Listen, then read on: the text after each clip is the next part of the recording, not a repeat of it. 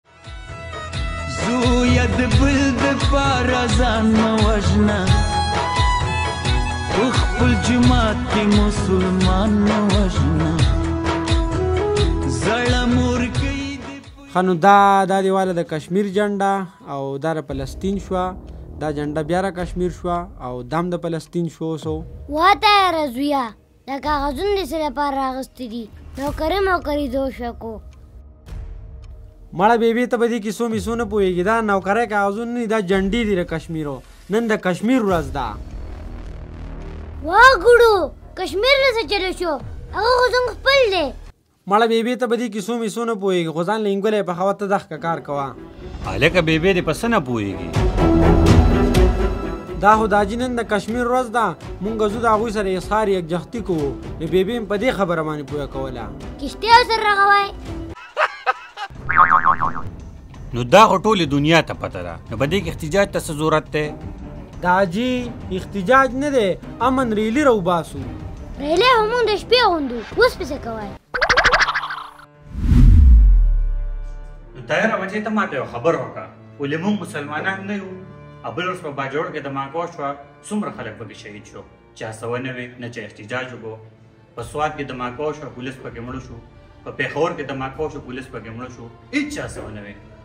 لکه پښتانه چې مرونه خیر دی او په کشمیر کې څه چلو شي په فلسطین کې څه چلو شي د دلته موږ وایمې راغستې روډونه خو بند کړي کاروبارونه خو خلکو له بند کړي ځان هم په عذاب کړي خپل پښتانه وروڼه هم په عذاب کړي چې دلته دا چل دی احتجاج دی دا چل دی هغه چل دی په موږ باندې ولې خلک احتجاج نه کوي وی نو چا کاروبار بند شو ته غلی شه مړې په څه پوهېږې نه خو چې څه ووایې نو ځانه سبزي وړه کوه ګوره دا جي ستاسو خبره صحیح ده خو هغوی په خپله باندې مظلومان دي په هغوی باندې په خپله ظلم کیږي نو هغوی مونږ ته نه دي وزګارو واه ګوړو موزي ملشا دې پکې څه چلو کو تا بیا خبر وکړه تا ته مانیو چې غلی شه تخت غنی تا خو به دې په چپله مانې ولم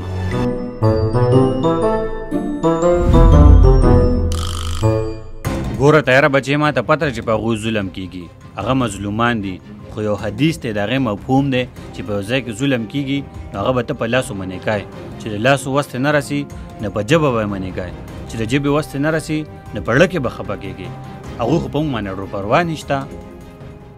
ايو خو مونږ پښتانه يو چې کله به روډونه بندو ايا مونږ چې روډ بند کو نيمبولينس ته څومره تکليف دی په دې کو مريض ته څومره تکليف وي يا به څوک مليشيا دوبی ته ځي داغه نه به جاز لاړ شي دا لاسکه پيجونه خو جوړ کړي دي کله وچ کشمير کې ظلم دی کله وي فلسطين کې ظلم دی هغوي خو چرته دا نه وي چې په پښتنو ظلم دی. واه دغو پر امبولانس کې څوک وړو. مړې بې بې تاته مه ونه وي چې غلې شه ته په دې خبرو نه پوهېږې خو بس دا سالن زر تیار کا زه دې ریلی له ورځم او بیا راځم ډوډی خورم وږی شوی یم. دا وګوره نو لکه زما د دومره خبرو مطلب څه شو یاره پښتونه هو ته نه پوهیږي. زموږ د دې ویډیو مطلب دا هرګز نه دی چې تاسو د کشمیر یا فلسطین مسلمانانو وروڼو لپاره اواز مو اوچتوی زموږ د ویډیو مطلب دا دی چې موږ هم مسلمانان یو خلک زموږ دپاره اواز ولې نه اوچتوي یو ګیله خو جوړیږي